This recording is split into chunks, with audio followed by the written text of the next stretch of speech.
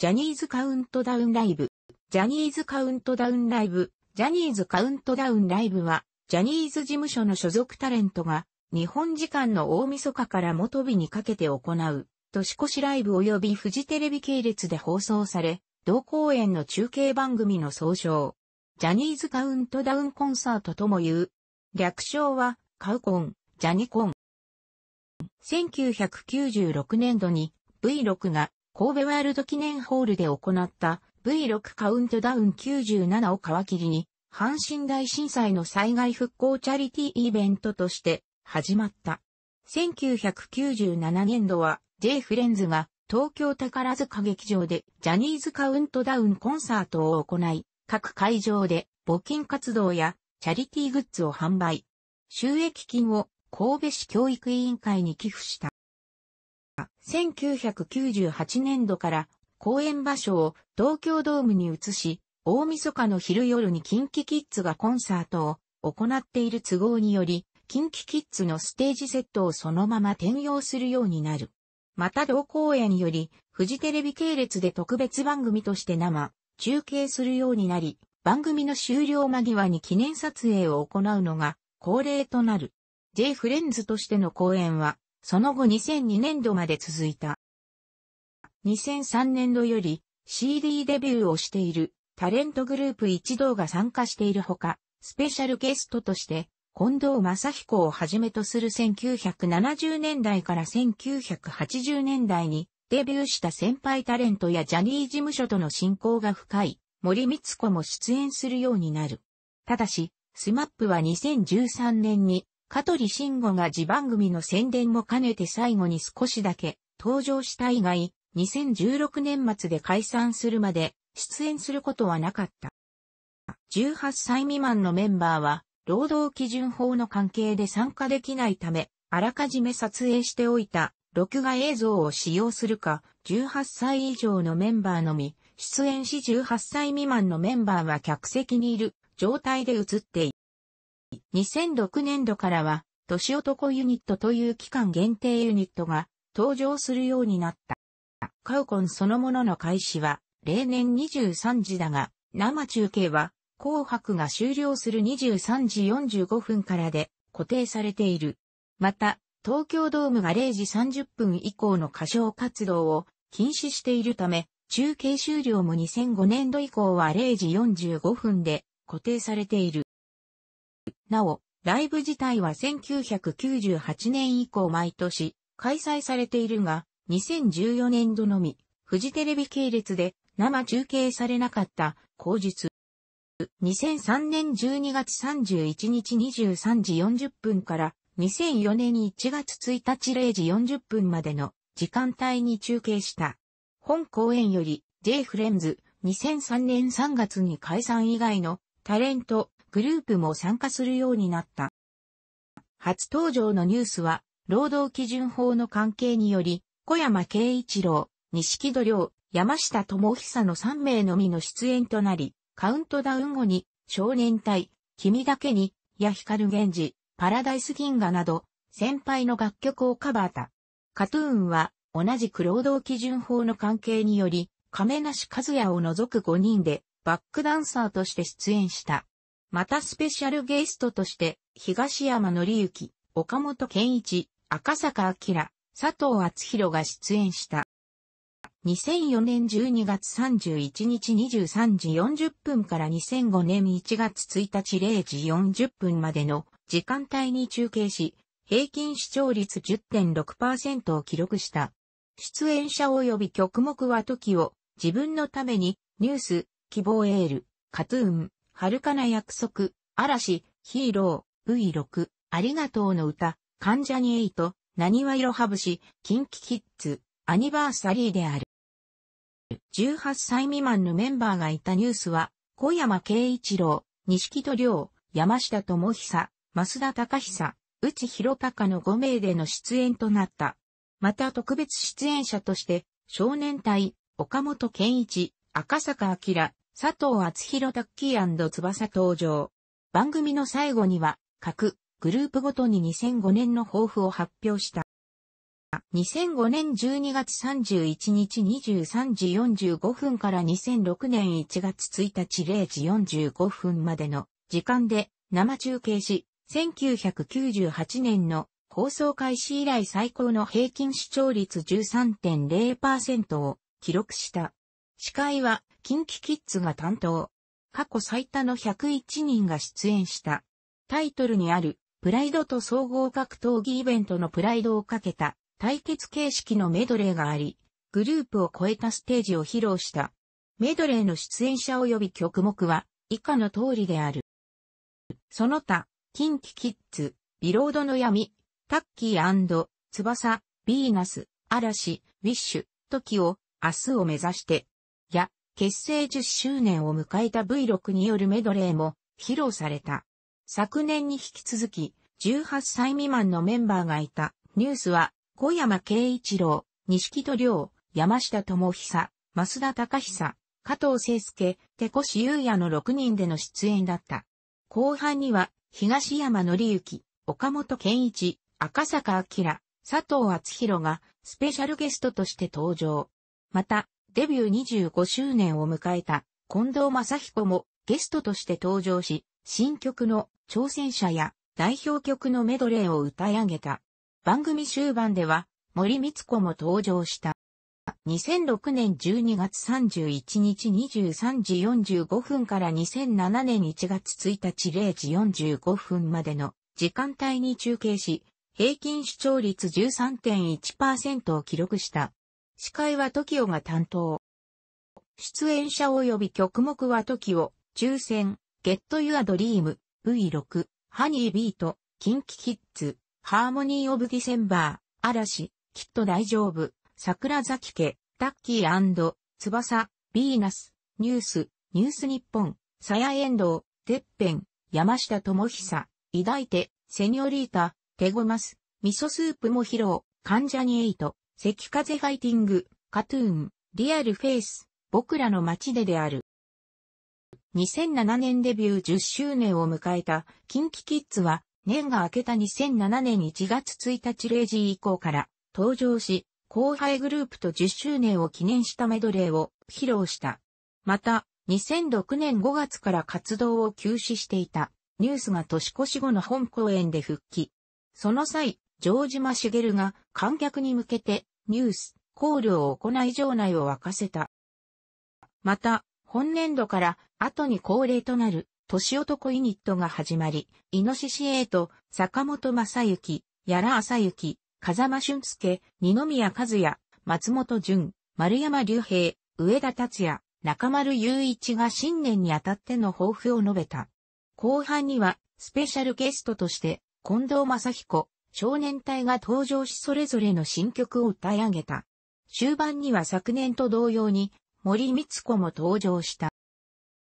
2007年12月31日23時45分から2008年1月1日0時45分までの時間帯に中継され、平均視聴率10.1%を記録した。コンサートの正式名称は、ジョニースカウントダウン2007から2008。司会は、嵐が担当。出演者は、TOKIO、キンキキッズ、V6、嵐、タッキー翼、ニュース、関ジャニエイト、カトゥーン、そして、スペシャルゲストに、東山紀之、少年隊も登場し、愛氏のナポリタンを披露した。カウントダウンライブ10周年にあたって、ヒット曲を年代順に振り返るメドレーを披露した。また、全員で歌う、初歌という曲を初披露したり、この公演限定の年男ユニット、チューチューセブン、山口達也、長野博士、小山慶一郎、安田明夫、西木戸亮、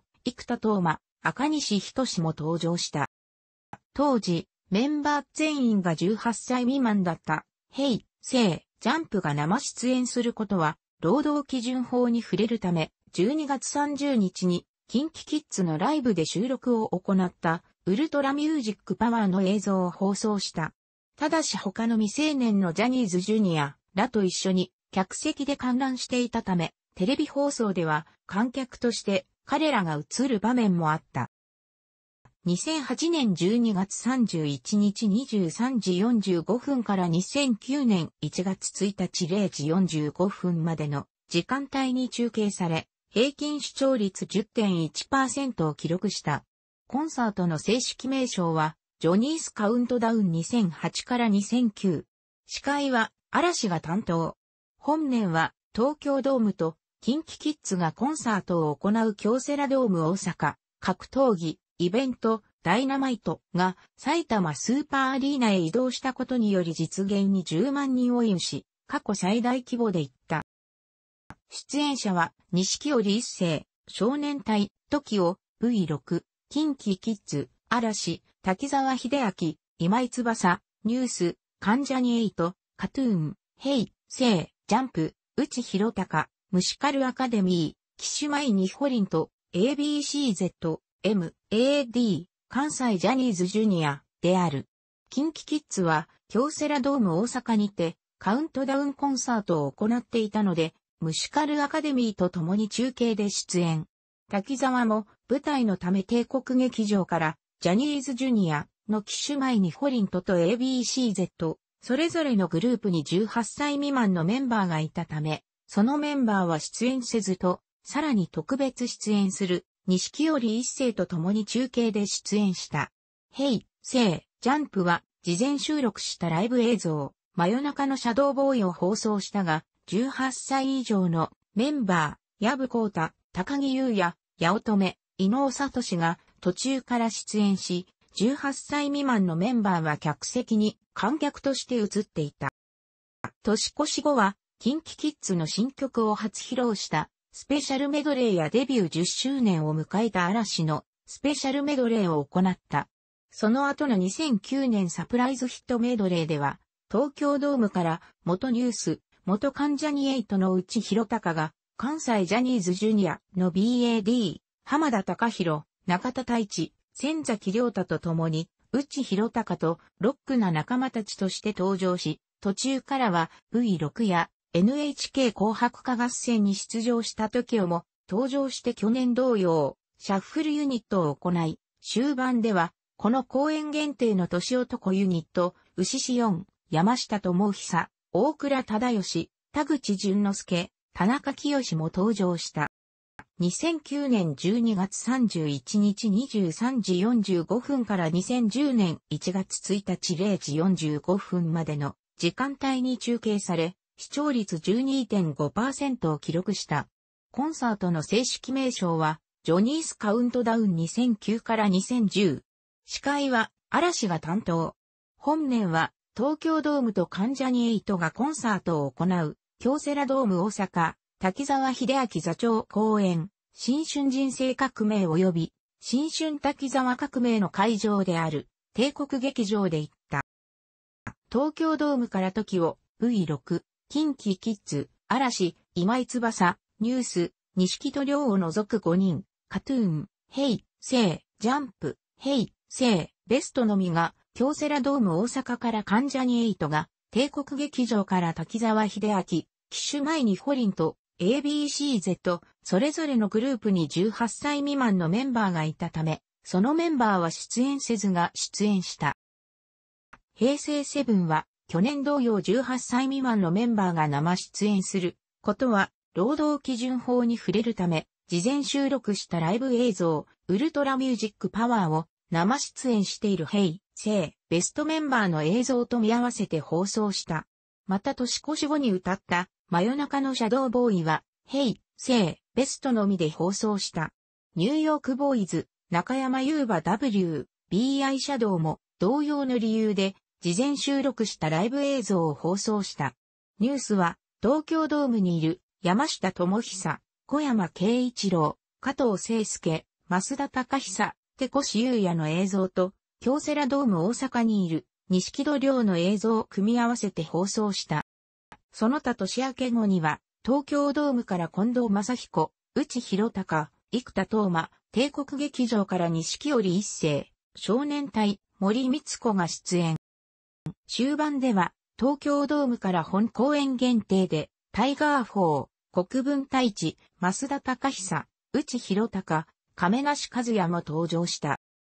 2010年12月31日に東京ドームで開催。2010年12月31日23時45分から2011年1月1日0時45分までの時間帯に中継され、コンサートの正式名称は、ジャニーズカウントダウン2010から2011。司会は、 KinKi Kids が担当。本年は、東京ドームと関ジャニエイトがコンサートを行う、京セラドーム大阪、滝沢秀明座長公演。新春滝沢革命の会場である帝国劇場で同時中継して行った。東京ドームから時を V6、キンキキッズ、ニュース、カトゥーン、ヘイ、セイ、ジャンプ、ヘイ、セイ、ベストのみ、機種前にホリンと、内広高ウィズクエスチョンが、京セラドーム大阪から関ジャニエイトが、帝国劇場から錦織一世、少年隊とタッキー翼が出演した。また、平成セブンや中山優馬、ニューヨークは VTR での出演となった。嵐は NHK 第61回 NHK 紅白歌合戦の白組司会を務めたため、東京ドームに駆けつけず NHK 敷地内から生中継で出演した。年明け後にはデビュー30周年を迎えた近藤正彦がゲスト出演として通し、モットーマイナスを熱唱、曲の終わりには、佐藤厚弘もゲストとして登場。終盤では、東京ドームから本公演限定のラビット3、加藤聖介、手越優也、藤ヶ谷大野タスクも登場した。2011年12月31日23時45分から2012年1月1日0時45分までの時間帯に中継された。コンサートの正式名称は、ジョニースカウントダウン2011から2012。司会は、キンキキッズが担当。東京ドームから時を V6、キンキキッズ、ニュース、カトゥーン、ヘイ、セイ、ジャンプ、機種前にホリンと、セクシーゾーン、VTR のみ、観覧組、京セラドーム大阪から、関ジャニエイト、帝国劇場からタッキー翼と ABC、Z、冬らが出演した。ニューヨークは中山優馬が労働基準法に触れるため、中山のみ、事前収録での出演となり、生出演している山田涼介、知念有利の映像と組み合わせて放送した。嵐は第62回 NHK 紅白歌合戦の白組司会を務めたため、東京ドームに駆けつけず東京プリンスホテル屋上から録画で出演した。年明け後には東京ドームから近藤正彦、少年隊、東山紀之、植草勝秀、佐藤厚弘、帝国劇場からは、錦織一世、少年隊も出演。また東京ドームの今井翼は、帝国劇場にいる滝沢秀明と中継で、夢物語を途中まで歌った後、今井のバックダンサーを務めていた冬と共に、番組中すぐに帝国劇場へ移動し、番組後半からは錦織、滝沢、ABCZ らと共に、帝国劇場から出演した。終盤では、東京ドームから本公演限定の、立つ、ノコスリー、近藤正彦、井ノ原義彦、宮田俊也も登場した。また、前年にニュースを脱退した山下智久は TBS の音楽番組 CDTV スペシャル年越しプレミアライブ2011、2012に生出演した。また、機種前にホリンとも終了後に、同番組に生出演した。この回から地上デジタル放送としての放送を開始。2012年12月31日23時45分から2013年1月1日0時45分までの時間帯に中継された。コンサートの正式名称は、ジョニースカウントダウン2012から2013。司会は、CD デビュー15周年のキンキキッズが担当。番組タイトルの25は2号とルビが振られていた。平均視聴率は12.3%。今回は5年ぶりに東京ドームのみでの開催で、近藤正彦、東山紀之、少年隊 V6、キンキキッズ、タッキー翼、山下智久、ニュース、カトゥーン、ヘイ、セイ、ジャンプ、機種前にホリンと ABCZ、内広高、ニューヨーク、中島武とセクシーゾーン、やら朝雪が出演した。セクシーゾーンは、労働基準法に触れるため、中島のみ出演。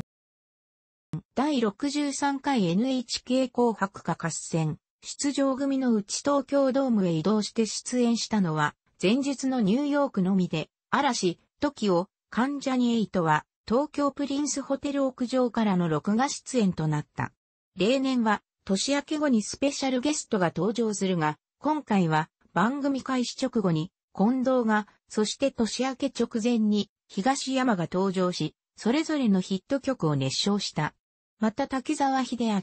タッキー翼が5年ぶりに東京ドームに出演した。年男ユニットは、錦織一世、少年隊、1965年生まれが不出演で、松岡正宏、TOKIO1977 年生まれも、東京ドームに登場しなったことから、成立しなかった1989年生まれのメンバーは、同時点で不在。2013年12月31日23時45分から2014年1月1日0時45分までの時間帯に中継された。コンサートの正式名称は、ジョニースカウントダウン2013から2014司会は、キンキキッズが担当。平均視聴率は9.4%。東京ドームから近藤正彦、キンキキッズ、タッキー翼、山下智久、ニュース、ヘイ、セイ、ジャンプ、機種前にホリンと、ABCZ、内弘隆、中山優馬、中島武と、菊池風磨く、セクシーゾーン全員としては、VTR の、やらさゆき、京セラドーム大阪から、カトゥーン、VTR のみ、が出演した。終盤では、東京ドームから本公演限定の、うまうま6、矢部光太、高木優也、伊能聡、八乙女光、玉森優太、二階堂高次も登場した。また公演中に、中間淳太、桐山寺志氏、重岡大輝、小滝望、小滝望は、労働基準法の関係により、観客席からの4人が、グループ名を手書きした紙を掲げて、ジャニーズ WEST4 の結成と CD デビューを発した。今回は、 Sexy Zone 以外の第64回 NHK 紅白歌合戦、出場組、TOKIO、嵐、関ジャニエイトと少年隊、V6 は出演しなかった。ただし近藤が早退した後のエンディングでは、その紅白から香取慎吾、 SMAP が本番組の後に系列各局で放送される番組、 YOU コントしちゃいなよの宣伝絡みで東京ドームに登場した。同番組には、香取、稲垣五郎、以上、 SMAP、北山宏光、宮田俊也、千賀健永、二階堂高嗣、横尾渉、以上、騎手前にホリンと中島武とマリウス葉、以上、 Sexy Zone、河合郁人、塚田僚一、以上、 A.B.C-Z、内博貴が出演し、2時15分まで引き続き放送された。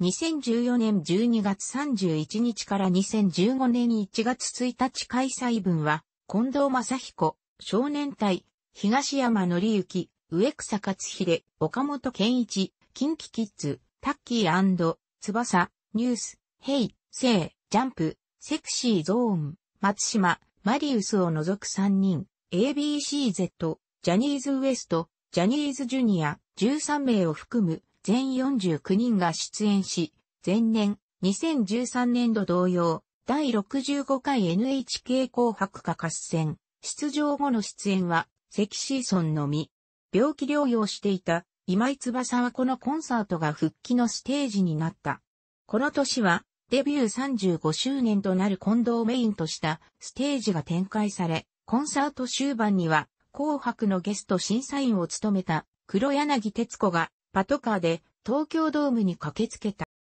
なお、本公演は18回の歴史の中で史上初の唯一テレビ製中継が行われなかった。2015年12月31日から2016年1月1日にかけて開催23時45分から0時45分までの時間帯に中継された。この年は東山紀之、少年隊、佐藤厚弘、TOKIO、V6、 KinKi Kids、嵐、タッキー翼、 NEWS、関ジャニエイト、 KAT-TUN、Hey! Say! JUMP、Kis-My-Ft2、Sexy Zone、A.B.C-Z、中山優馬、ジャニーズ WEST、屋良朝幸、内博貴ら過去最多となる114人が出演した、うち V6 は事前収録、 Hey! Say! JUMP は京セラドーム大阪から中継出演。セクシーゾーンは当時15歳のマリウスバを除く4人での出演。司会は嵐が2009年以来6年ぶりに務めた。第66回 NHK 紅白歌合戦。出場組は TOKIO、V6、嵐、関ジャニエイト、セクシーゾーンの5組で V6 を除く4組が東京ドームに出演した。なお当初、近藤正彦も本公演に出演する予定だったが、第66回 NHK 紅白歌合戦に19年ぶり10回目、出場、白組取りを務めた関係上、出演しなかった。この年は、キンキキッズのデビュー20年目突入記念してのスペシャルメドレー、カトゥーンのデビュー10周年記念メドレー、本来の持ち歌であるグループを他のグループと交代して披露するグルーチェンジメドレーや異なる2つのグループのそれぞれ1人ずつによる共演でヒット曲を披露する夢の2ショットなどスペシャルコーナーが行われた。初夢2ショット企画では番外編として修二と明が復活し、出演が告知されていなかった山下智久も姿を見せた。また、終盤では、本公演恒例の年男ユニット、モンキー3を発表。メンバーは、V6、岡田純一、嵐、大野聡、共に1980年生まれ、ジャニーズ WEST、重岡大輝、1992年生まれの3人。なお、岡田はライブ不出演のため等身大パネルで登場した。平均視聴率は12.5%を記録し、同局の前年の年越し番組2014-2015月対人グランプリ行く年つく年の2.5%から10ポイント上昇した。また、フジテレビでは事前特番として2015年12月26日の15時35分マイナス17 30土曜ワイド関東ローカル枠にて2年ぶりの復活特別企画ジャニーズ年越し生放送16年の歴史一気に見せますスシャルが放送された。ただし、2014年度分は中継されなかったため、VTR は挿入されなかった。2016年12月31日から2017年1月1日にかけて開催23時45分から0時45分までの時間帯に中継された。司会は TOKIO が10年ぶりに務め、1月1日に東京ドーム単独ライブを行うヘイ、セイ、ジャンプのステージが初めて使用された。視聴率は11.6%、関東地区、世帯、リアルタイム、ビデオリサーチ社調べを記録。この年は、TOKIO、キンキキッズ、V6、嵐、タッキー翼、ニュース、カンジャニエイト、ヘイ、セイ、ジャンプ、キシュマイニホリンと、セクシーゾーン、ABCZ、ジャニーズ WEST、東山紀之、少年隊、岡本健一、佐藤厚弘、山下智久、内弘隆、中山優馬、矢良朝幸が出演。セクシーゾーンは、当時16歳のマリウスバを除く4人での出演。第67回 NHK 紅白歌合戦にも出場したのは、TOKIO、キンキキッズ、V6、嵐、関ジャニエイト、セクシーゾーンの6組で、このうちキンキキッズと紅白歌合戦の司会を務めた嵐の相葉雅紀は、事前収録での縁となり、嵐は相葉を除くメンバー4人が途中から合流した。今回の新たな目玉企画として、ジャニーズサンキューメドレーが披露され、各出演グループがこれまで支えてくれた方々へ今一番送りたい曲を選曲13曲を歌唱したほか、 Hey! Say! JUMP のデビュー10周年を記念し、 Hey! Say! JUMP 10周年記念メドレーが行われた。このほか、他グループの楽曲を披露するグループチェンジメドレー、各グループの歴代の名曲メドレーを披露するヒットソングメドレーといった企画が行われ、グループの垣根を越えてアーティストが限定ユニットを組んで披露するシャッフルメドレーでは12月31日に解散した SMAP のオリジナルスマイルも披露された。本公演恒例の年男ユニットとして、酉年イレブンを結成、岡本健一を筆頭に、今井翼、タッキー翼、渋谷すばる、横山裕、以上、関ジャニエイト、岡本圭人、山田涼介、中島裕翔、知念侑李、以上、 Hey! Say! JUMP、橋本良介、ABCZ、神山智弘、藤井流星、以上、ジャニーズ WEST の歴代最多の11人からなる構成で、シャッフルメドレー内に登場、男組、岡本親子の父、健一が在籍していたの、タイムゾーンを披露し、その中では、岡本健一、慶人親子が顔を寄せ合って歌う姿も見られた。エンディングでは、TOKIO が最も頑張ったと思うメンバーを MVP 表彰する企画を実施、東山が MVP に選出された。中継終了後、解散した SMAP への感謝を込めて、岡本健一、井ノ原快彦、V6、今井らが SMAP へ感謝の一言を伝えた後、最後に、長瀬智也、TOKIO がスマップに拍手を送ろう。と、出演メンバーとファンに呼びかけ、大拍手で SMAP をねぎらい閉幕した。2017年12月31日から2018年1月1日にかけて開催、23時45分から0時45分までの時間帯に中継された。司会は国分太一、TOKIO と井ノ原義彦、V6 が担当。この放送回よりリアルタイム字幕放送を実施。視聴率は12.0%、関東地区、世帯、リアルタイム、ビデオリサーチ社調べを記録。